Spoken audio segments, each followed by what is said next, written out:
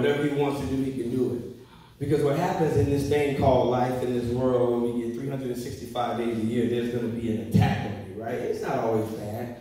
Some people just do not understand where you're trying to go. It's like me, I created a company called Kory's World Incorporated, and everyone thinks that it's about me. But no, it's about, I forgot the guy's name that was just up here speaking about cooperative work, about uh, teamwork, about capacity building, innovation, networking, right?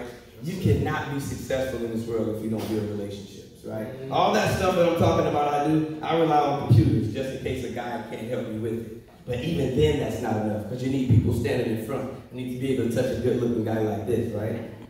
So as you travel your journey, whether that's to go directly to college, right?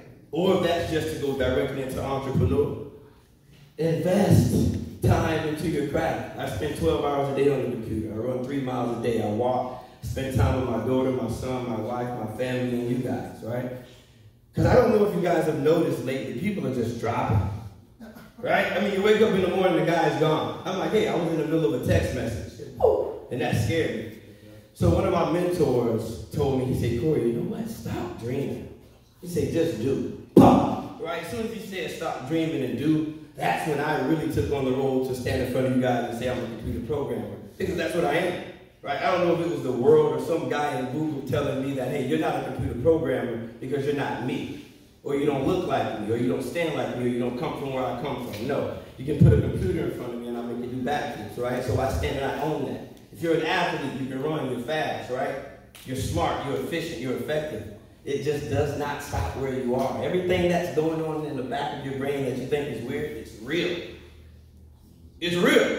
Seriously, you wake up in the morning like, you know what, maybe I should design an app called Google to where people can go on their phones and click. How many times do I look at my phone a day and you find the answer? You thought that guy was out of his mind? Right? But that's what we rely on every day of every second of every hour. And it's not specifically our ideas, right?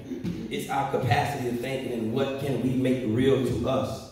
So wherever you go in this world, young man, young lady, old woman, old man, wherever you are, walking, wheelchair, skating, or riding a bike, it does not matter.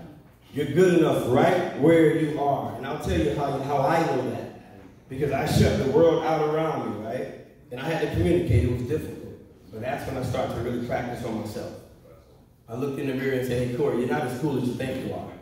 You're not as smart as you think you are. You're not as accountable as you think you are. And I started to look back at all the things that I dropped the ball on. And I became one of those things. And I said, you know what? It's a new guy right here. That's why I introduced myself loudly, boldly. Because if you knew me then, it's probably different now. Because I'm on a different mission. I'm on a different role. I'm on a different route. I'm looking to build, connect, engage, and just give it all I have personally while I still have the time on this earth. So everyone in this room that's talking about relationship building and capacity building, it starts there. But you will not, okay, and I'll leave on this. Everybody take a breather, because this is when it gets really hard. You're gonna have to take care of yourself first. Yeah.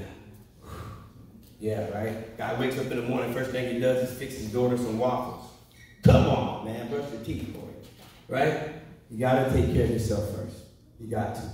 And whatever that looks like in your world, right? It might be getting rid of Facebook. It might be logging on to Facebook, right? It might be getting on to TikTok, getting off of TikTok. It might be incorporating a business or dissolving a business. Take care of yourself first. I love y'all.